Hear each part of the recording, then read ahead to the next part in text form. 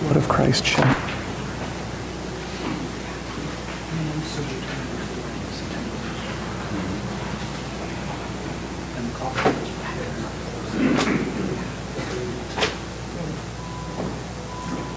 They did, they did, actually. Please stand as you are able.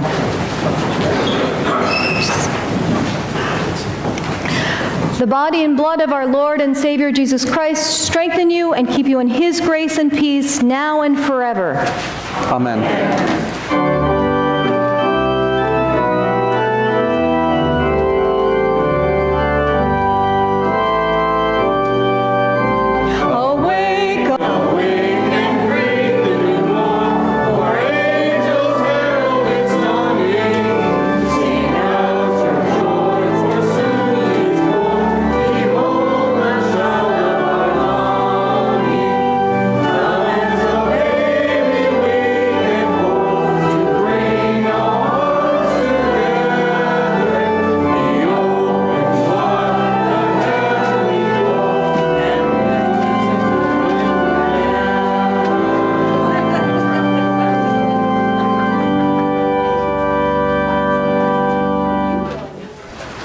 Let us pray.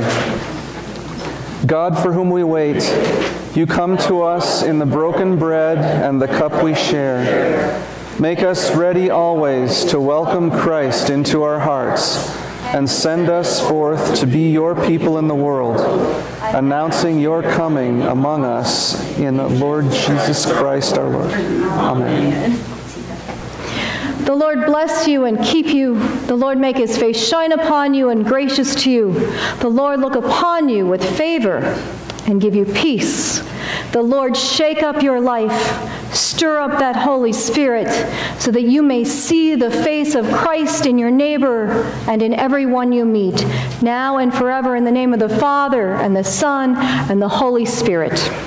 Amen. You may be seated for a few brief announcements. Is a correction in your bulletin.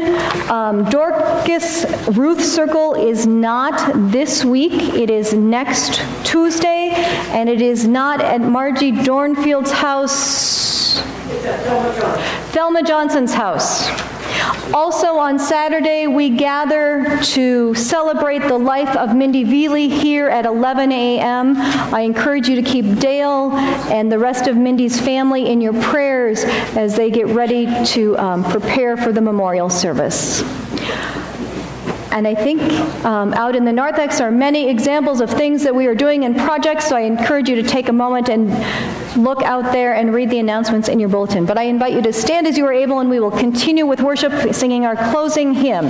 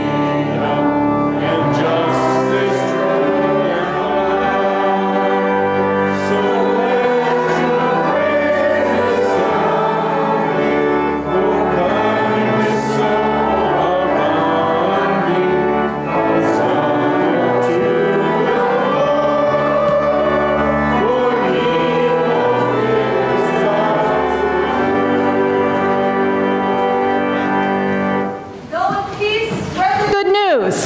Thanks. It's just like, oh, I'm not Mike.